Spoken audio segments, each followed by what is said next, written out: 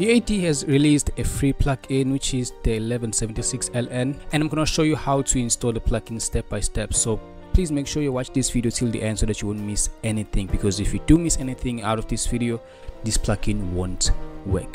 So the first thing that you have to do is to download the software which is the iLok support software. Um, if you're using mac os just choose mac os if you're using windows just choose windows. So i'm not to download the software right now because i already have it on my pc so if you don't if you don't have an account please make sure you create one. Just go to create free account and it will take you to the account page. And then the user id I suggest that you use your email address. So just use your email address um, your first name just write your name. Just gonna say yanda last name just gonna say beats or whatever. And your email address again you just use your email address. Um, re-enter your email address just create your password whatever and your password. Again i suggest that you use the same password everywhere so that everything will be easy. Date of birth um, maybe let's say february 14th on a valentine's day. Um, and then security questions. Just choose the easy one. Um, let me just say what's your childhood name. Just write my childhood name. Just say yanda. Um, and then you go to terms and conditions.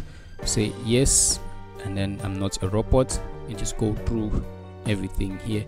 You have the chimney whatever just go through everything here and choose create account.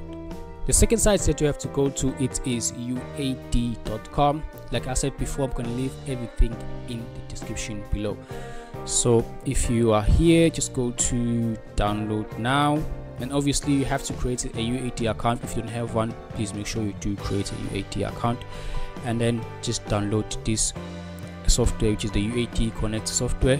If you're using mac again just choose mac. If you're using windows just choose windows and then it will download.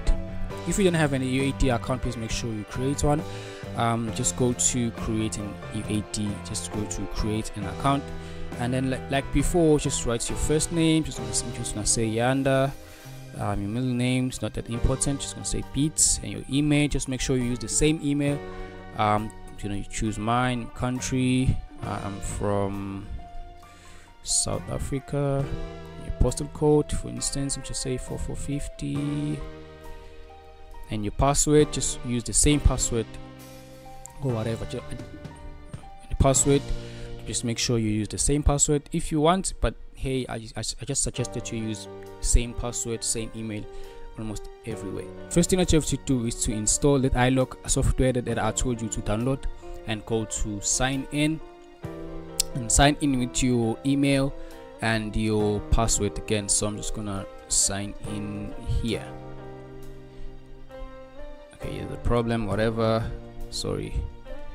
Maybe i used the wrong keyboard or whatever. So just sign in remember my id remember everything. You should remember everything. And then i'm here now as you can see my stuff is already here.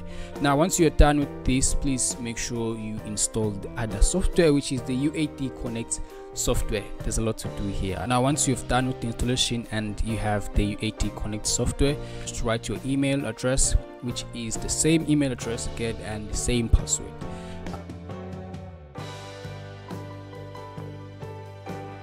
remember same password same email. Cool. Now just wait for this to search for plugins. Obviously you're gonna find your plugin here. Once this is done searching all these plugins you can see mine is mine is already installed.